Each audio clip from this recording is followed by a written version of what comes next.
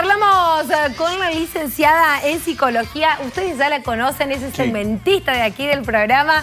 Hola Lau, ¿cómo te va? No sé si pudiste llegar a ver o no, pero nosotros estamos con el Jugando al Jenga.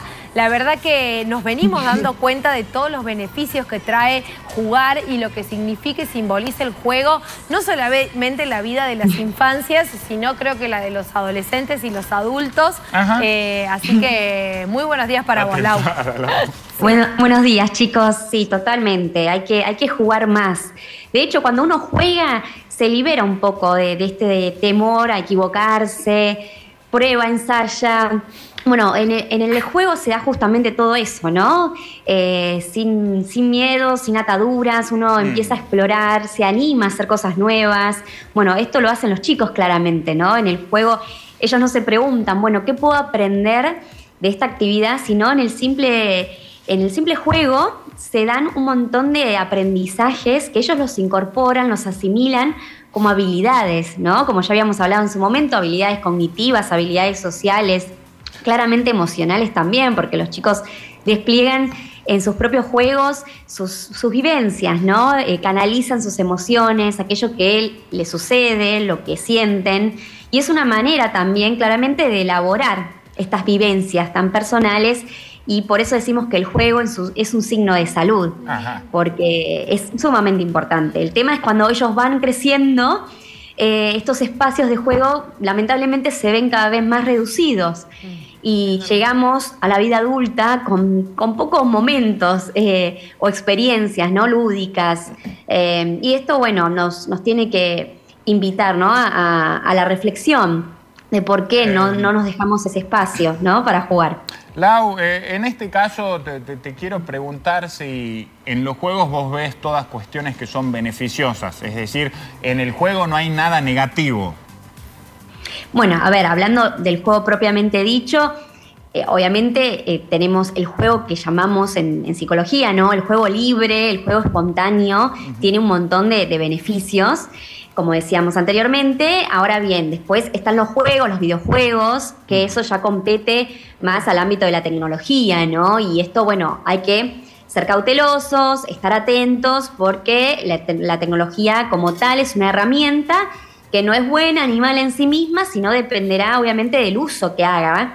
En este caso, las infancias con, esta herramienta. Y ahí nos involucra a nosotros como adultos en ser los que quienes, mejor dicho, supervisamos tanto el contenido como el tiempo. Esto es fundamental porque muchos de estos videojuegos muchas veces son violentos, tienen un contenido con mucha violencia, entonces, o contenidos que no son apropiados para su edad. Entonces tenemos que, bueno, claramente supervisar esto, también el tiempo. Como toda actividad tiene que tener un principio y un fin, ¿no? Y a veces lo que sucede es que los chicos, si le damos la tablet o si están frente a la computadora por muchas horas, por una larga jornada, esto interfiere en su desarrollo y tiene consecuencias, consecuencias perdón, claramente negativas. Entonces, eh, bueno, a, eso me quería eh, detener, ¿no? Sí. ¿Cómo, hacemos para, para elegir un buen juego? Un juego adecuado? Porque esto también te lo, te lo pregunto como eh, autorreferencial o como mamá, de decir, bueno, mm. ¿cómo o como damos... Padrino. O como padrino, ¿no? Pero ¿cómo damos con el indicado? ¿Cómo vamos a ser asertivos desde ese lugar? hay también una cuestión aquí de decir, bueno, capaz gasto un poco más lo que es en relación al precio, pero también sé que voy a estar eh, comprando un, juego de calidad, un juego que va a hacer desarrollar las habilidades de nuestros hijos, de nuestros sobrinos o, de lo que sea, ¿no? Bueno, es una excelente pregunta. Lo primero y principal que tenemos que tener presente es que lo más importante en el juego es nuestra presencia, ¿sí? Como adultos. Sobre todo en la primera infancia, en los primeros años de vida, el mayor instrumento lúdico para ese niño, ese bebé o ese niño pequeño, esa niña pequeña, es el adulto, la presencia física, emocional, eh, porque es lo que se pone en juego en esa interacción es lo que es lo más enriquecedor para ese niño, es donde se pueden desplegar todas estas, eh, todos estos aprendizajes, ¿sí? Entonces, desde juegos, em, desde lo corporal, a veces eh, menos es más claramente, siempre es eso, es eh, como la regla, ¿no? Primordial, menos es más. Cuanto menos haga el juguete, más se va a poner en juego la creatividad, la curiosidad, em, de, ese niño, ¿no? De esa niña. Entonces, lo que tenemos que empezar a, bueno, a poner nuestro foco de atención cuando van creciendo es partir de los intereses, ¿no? Hay chicos que les gusta más lo artístico, entonces se vuelcan más por los disfraces, por juegos más eh, de manualidades, como la plastilina, pinturas, ¿no? Desde la beta más artística. Otros, por el contrario, les gustan más otro tipo de juegos, ¿no? De bloques, de encastres. Si bien estos juegos son beneficiosos, traen un montón, conllevan un montón de beneficios, también es importante, bueno, partir de los intereses, ¿se entiende? De, de ese niño esa niña. Y claramente a medida que van creciendo, eh, ya, avanzando, ¿no? Luego de la primera infancia, eh, son beneficiosos los juegos eh, reglados, ¿no? Los juegos de mesa, donde los chicos, además de divertirse por la propuesta lúdica de, ese juego, tienen que poner a prueba, obviamente, habilidades cognitivas, sociales, claramente, como esperar a su turno para jugar, escuchar al otro.